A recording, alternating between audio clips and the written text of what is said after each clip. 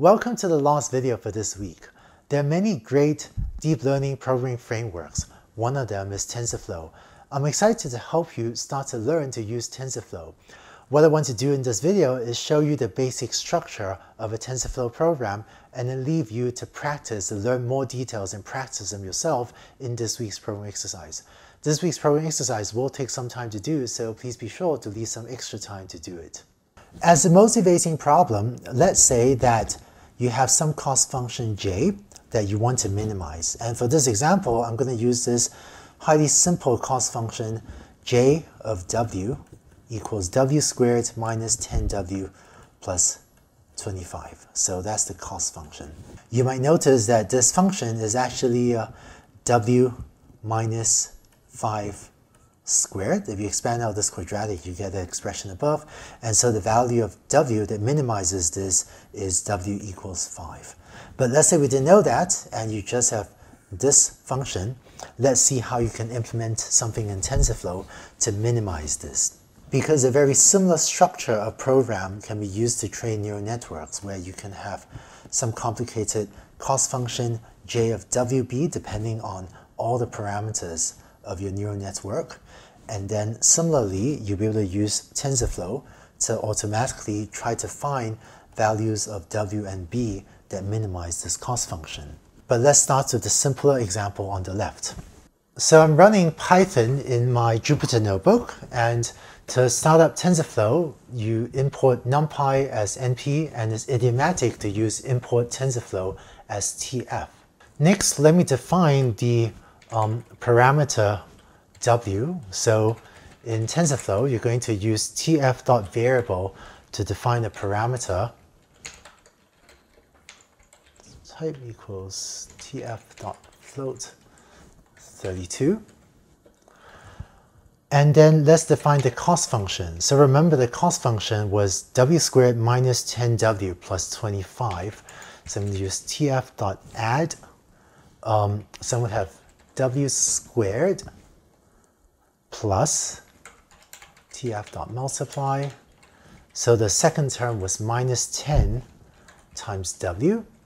And then I'm going to add that to 25. So let me put another tf dot add over there. So that defines the cost j that we had. And then I'm going to write train equals tf dot train dot gradient descent optimizer. Um, let's use a learning rate of 0.01 and the goal is to minimize the cost. And um, finally, the following few lines are quite idiomatic. init equals tf dot global variables initializer and then um, session equals tf dot session. So the starts a TensorFlow session, session dot run init to initialize the global variables. And then um, for TensorFlow to evaluate a variable, we're going to use ses.run w. We haven't done anything yet. So we've, in this line above, initialize w to zero and define a cost function. We've defined train to be our learning algorithm, which uses a gradient descent optimizer to minimize the cost function. But we haven't actually run the learning algorithm yet. So session.run, we evaluate w. And let me print session.run. So if you run that, it evaluates w to be equal to zero because we haven't run anything yet. Now, let's do session.run um, train. So what this will do is run one step of gradient descent, and then let's evaluate the value of w after one step of gradient descent and print that. So we do that. After one step of gradient descent, W is now 0.1. Um, let's now run a thousand iterations of gradient descent. So dot run train. Um, and let's then print session dot run w. So this will run a thousand iterations of gradient descent, and at the end, w ends up being 4.99999. Remember, we said that we're minimizing w minus 5 squared, so the optimal value of w is 5, and it got very close to this. So hope this gives you a sense of the broad structure of a TensorFlow program. And as you do the programming exercise and play with more TensorFlow code yourself, some of these functions that I'm using here will become more familiar. Some things to notice about this. W is the parameter we're trying to optimize, so we're going to declare that as a variable. And notice that all we had to do was define a cost function using these um, add and multiply and so on functions. And TensorFlow knows automatically how to take derivatives with respect to the add and multiply as well as other functions, which is why you only had to implement basically forward prop and it could figure out how to do the back prop or the gradient computation because that's already built in to the add and multiply as well as the squaring functions. And by the way, in case this notation seems really ugly, TensorFlow actually has overloaded the computation for um, the usual uh, plus, minus, and so on. So you could also just write this nicer format for the cost. We'll comment that out and rerun this and get the same result. So once W is declared to be a TensorFlow variable, these squaring, multiplication, adding, and subtraction operations are overloaded, so you don't need to use this uglier syntax that I had above. Now, there's just one more feature of TensorFlow that I want to show you, which is this example minimize a fixed function of W. What if the function you want to minimize is a function of your training set? So what if you have some training data X, um, and when you're training a neural network, the training data X can change. So how do you get training data into a TensorFlow uh, program? So I'm going to define T and X, which is think of this as playing a role of a training data, or really the training data with both X and Y, but we only have X in this example. So this is going to define X for a placeholder, and it's going to be of type float 32. And let's make this a 3 by 1 array. And what I'm going to do is, whereas the cost here had fixed coefficients in front of the three terms in this quadratic, it was 1 times w squared minus 10 times w plus 25. We could turn these numbers 1, minus 10, and 25 into data. So what I'm going to do is replace the cost with cost equals x 0, 0 times w squared plus x1, 0 times w plus x2, 0, uh, well, times 1. So now x becomes sort of like data that controls the coefficients of this quadratic function. And this placeholder function tells TensorFlow that x is something that you provide the values for later.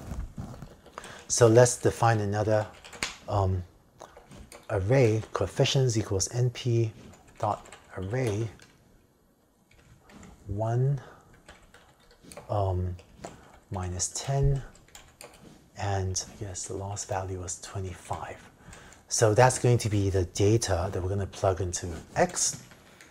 So finally we need a way to get this um, array coefficients into the variable x. And the syntax to do that is it is during the training step that the values for will need to be provided for x. So I'm going to set here feed dict equals x um, maps to coefficients.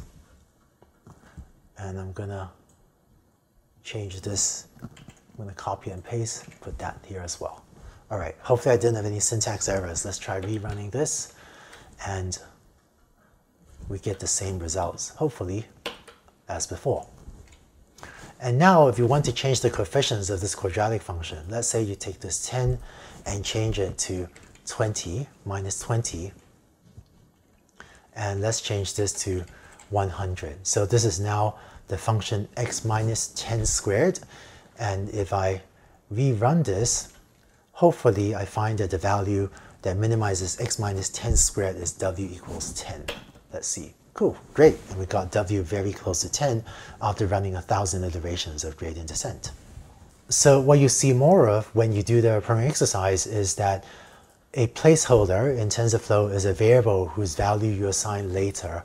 And this is a convenient way to get your training data into the cost function. And the way you get your data into the cost function is with this syntax. Um, when you're running a training iteration to use the feed dict to set x to be equal to the coefficients here. And if you're doing mini batch gradient descent, where on each iteration you need to plug in a different mini batch, then on different iterations you use the feed dict to feed in different subsets of your training set, different mini batches into where your cost function is expecting to see data. So hopefully this gives you a sense of what TensorFlow can do. And the thing that makes it so powerful is all you need to do is specify how to compute the cost function and then it takes derivatives and it can apply a gradient optimizer um, or an Adam optimizer or some other optimizer with just, you know, pretty much one or two lines of code. So here's the code again. I've cleaned this up just a little bit. And in case some of these functions or variables seem a little bit mysterious to you still, uh, they will become more familiar after you practice with it a couple times by working through the programming exercise. Just one last thing I want to mention, these three lines of code are quite idiomatic in TensorFlow. And um, what some programmers will do is use this alternative format, which basically does the same thing. Set session to tf.session to start the session, and then use the session to uh, run init, and then use a session to evaluate, say, w, and then print a result. But this with construction is used in a number of TensorFlow programs as well. It more or less means the same thing as the thing on the left, but um, the with command in Python is a little bit better at cleaning up in case there's an error or an exception while executing this uh, inner loop. So you see this in the programming exercise as well. So what is this code really doing? Let's focus on this equation. The heart of a TensorFlow program is something to compute a cost, and then TensorFlow automatically figures out the derivatives and how to minimize that cost. So what this equation or what this um, line of code is doing is, is allowing TensorFlow to construct a computation graph. And the computation graph does the following. It takes x0, 0, um, it takes w, and then I guess w gets squared and then x0, 0 uh, gets multiplied with w squared. So you have x0, 0 times w squared, and so on, right? And eventually, you know, this gets built up uh, to compute this xw, x0, 0 times w squared plus x1, 0 times w plus and so on. And so eventually you get, you know, the cost function, right? And I guess the last term to be added would be a uh, um, x2, 0 right, gets added to be the cost. I won't write out the formula for the cost.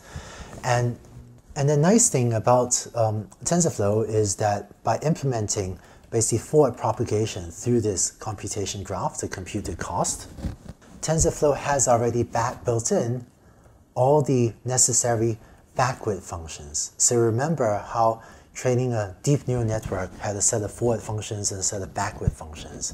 And um, programming frameworks like TensorFlow have already built in the necessary backward functions, which is why by using the built-in functions to compute the forward function, it can automatically do the backward functions as well to implement backpropagation through even very complicated functions and compute derivatives for you. So that's why you don't need to explicitly implement backprop. And this is one of the things that makes the programming frameworks help you become really efficient.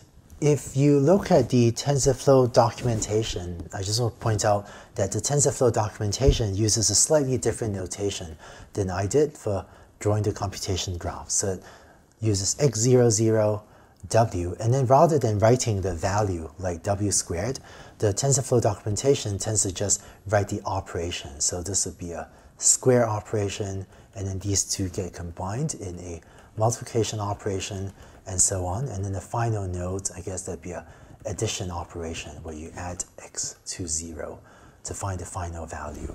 So for the purposes of this class, I thought that this notation for the computation graph would be easier for you to understand. But um, if you look at the TensorFlow documentation, if you look at the uh, computation graphs uh, in the documentation, you see this alternative convention where the nodes are labeled with the operations rather than with the value. But both of these representations um, you know, represent basically the same computation graph. And there are a lot of things that you can do with just one line of code in programming frameworks. For example, if you don't want to use gradient descent, but instead you want to use the Adam optimizer, by changing this line of code, you could very quickly swap it, swap in a um, better optimization algorithm. So all the modern deep learning programming frameworks support things like this and makes it really easy for you to code up even pretty complex neural networks. So I hope this was helpful for giving you a sense of the typical structure of a TensorFlow program. To recap the material from this week, you saw how to systematically organize the hyperparameter search process. We also talked about batch normalization and how you can use that to speed up training of your neural networks. And finally, we talked about programming frameworks for deep learning. There are many great programming frameworks, um, and we had this last video focusing on TensorFlow.